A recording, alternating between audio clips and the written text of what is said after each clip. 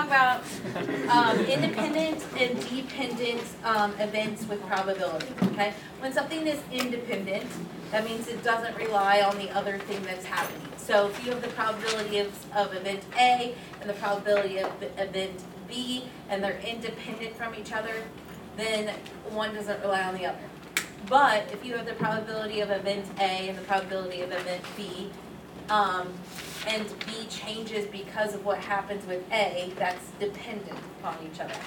So when they're independent, you have the probability of A and B equals the probability of A times the probability of B.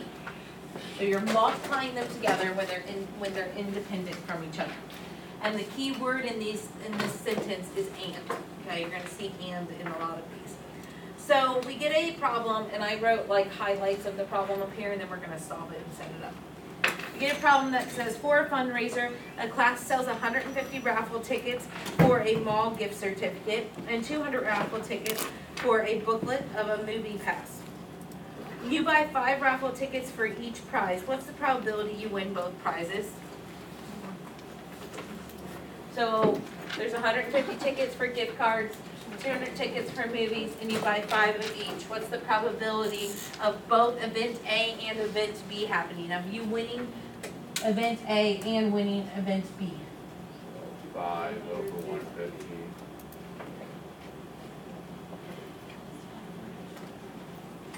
Um, you said five over one fifty? Yeah. Yeah, five over one fifty for event A, Five over two and five over two hundred. Five over one fifty reduces down to one over thirty, yes? Yeah. And five over two hundred reduces down to one over Forty. so what is one thirtieth times one fortieth? Twelve. Yep, one over twelve hundred.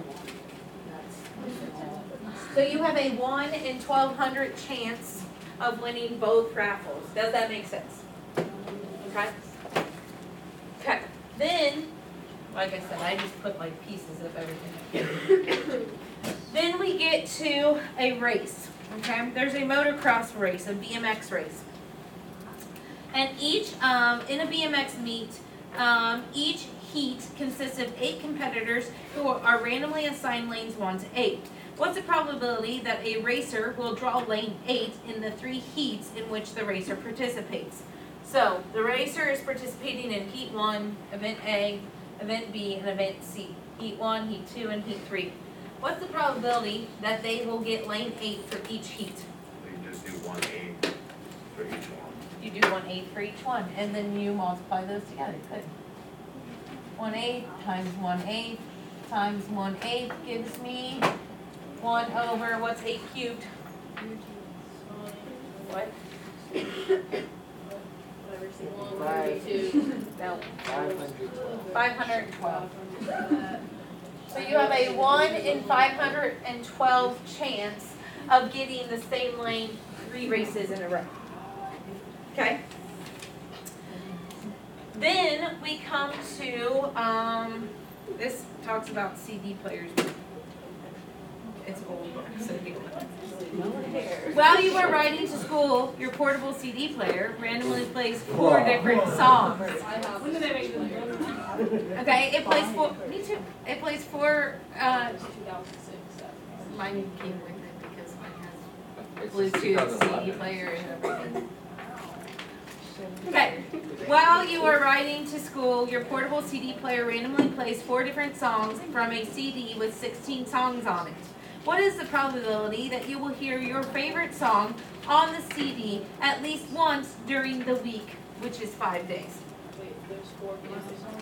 Four favorite, you, yes, four, uh, four songs, no, not four favorite songs, you have one favorite song.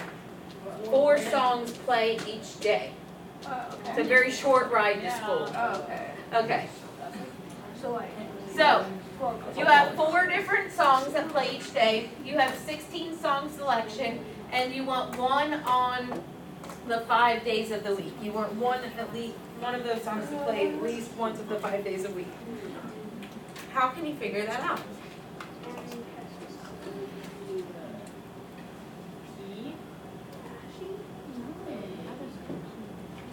Oh, probability, is that what you're doing? Okay, so you're saying the probability of what?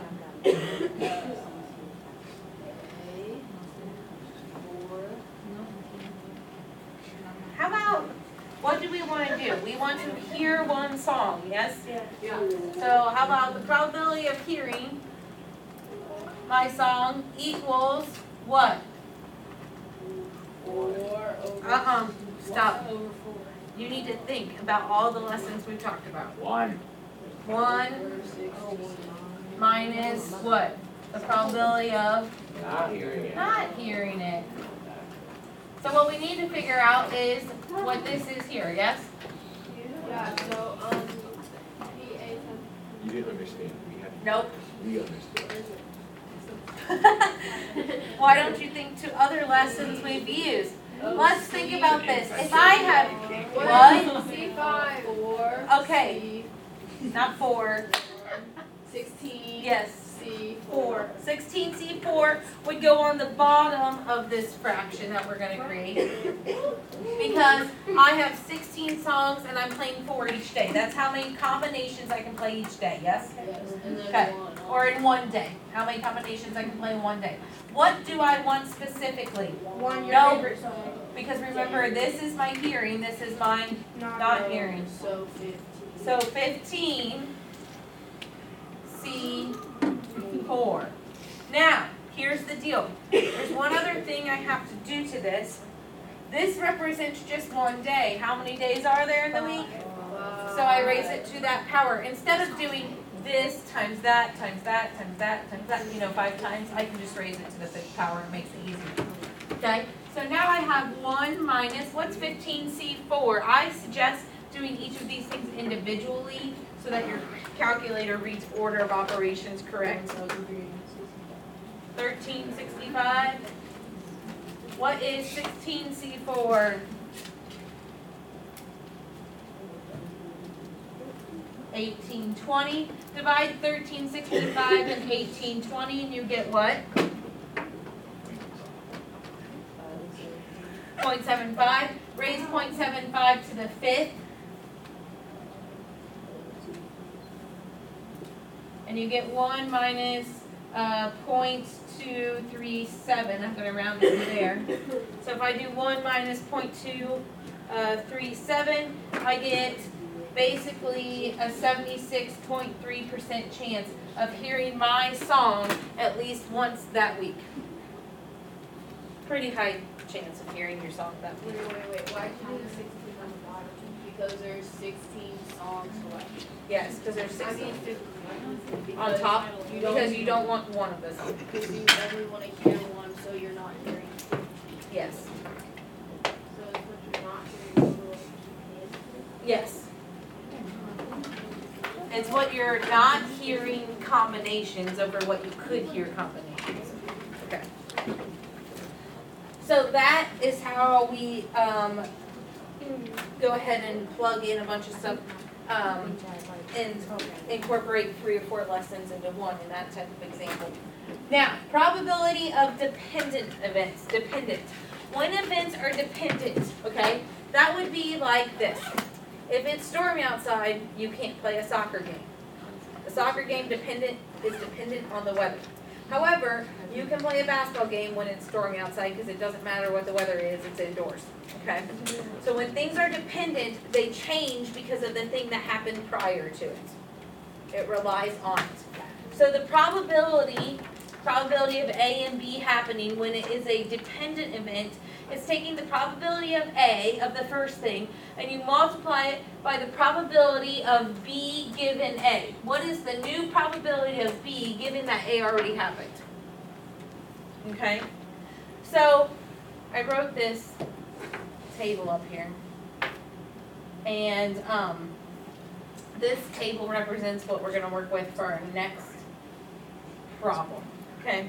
So it says, the big word problem, and that's the chart that goes with it. The table shows the number of tropical cyclones that, that formed during the hurricane season from nineteen eighty-eight to two thousand and four. So these are all cyclones, these three types are all tropical cyclones, okay? It says use the table to estimate, A, the probability that a cyclone is a hurricane. Okay, so let's start there. The probability that a future tropical cyclone is a hurricane. How can I estimate that the that the tropical cyclone is a hurricane? So for A, I wanna figure out the probability of it being a hurricane, yes? How do I set that up with the information they give me?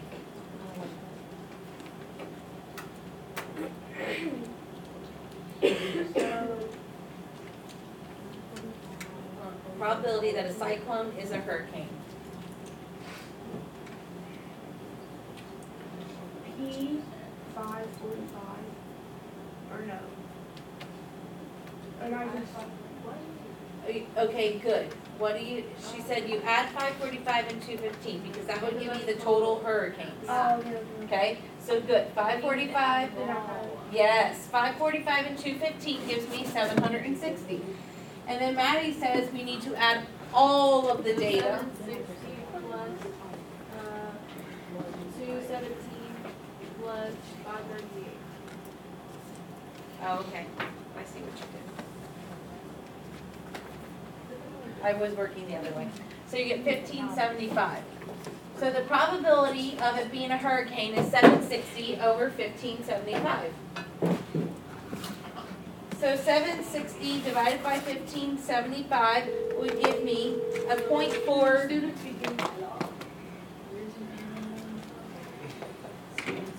a uh, forty-eight point three percent chance of that hurricane happening, of a hurricane happening. Does that make sense?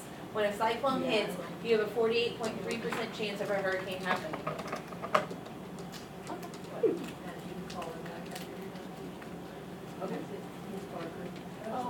Part B.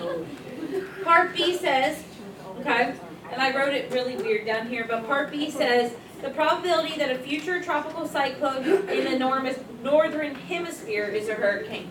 So what's the probability that in the future, in the north, it's going to be a hurricane? What'd you do? Good, what? Five forty-five. Five forty-five out of all of what numbers? Only on this, right, only on that portion. Kylie? So one ninety-nine plus five forty-five plus three ninety-eight gives me eleven forty-two, which would give me a probability of Forty-seven.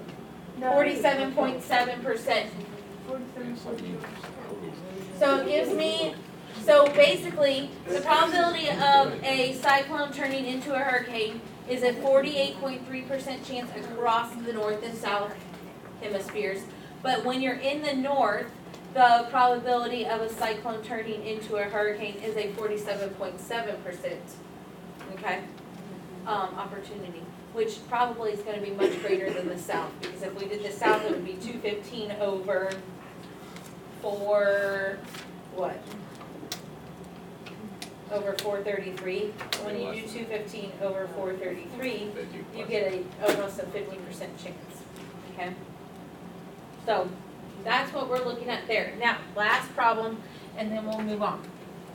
Okay, I wrote little keys up here, too. You randomly select two cards from a standard deck of fifty-two cards, two of fifty-two. The first is not a heart, the second would be a heart. So you select first not a heart, second a heart.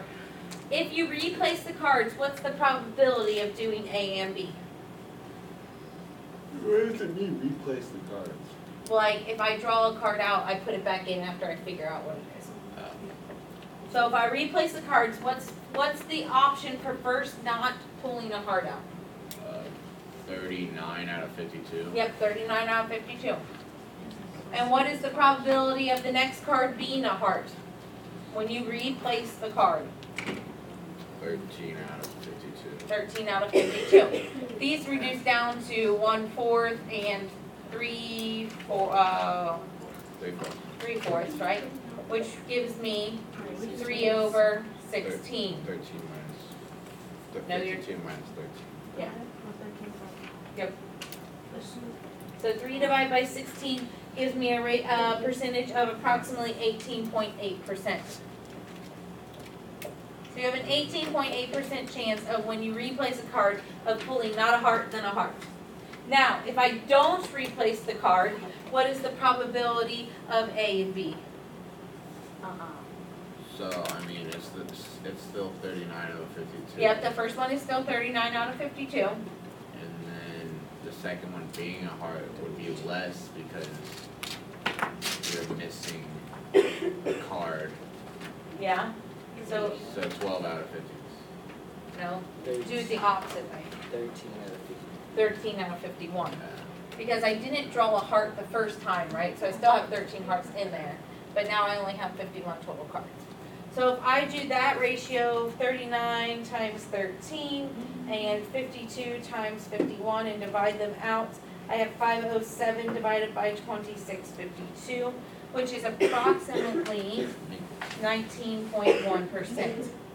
So you have a higher chance of pulling a card out that's not a heart and then a heart when you don't replace them.